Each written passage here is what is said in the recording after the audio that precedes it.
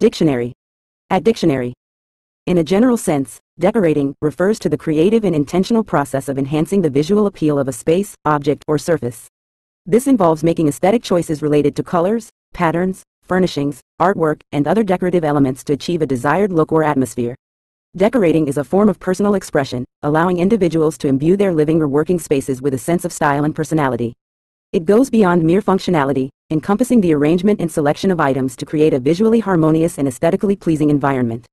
Whether in interior design, event planning, or personal spaces, the act of decorating involves a thoughtful and often artistic approach to transforming a space into one that is visually engaging and resonates with a particular theme or mood.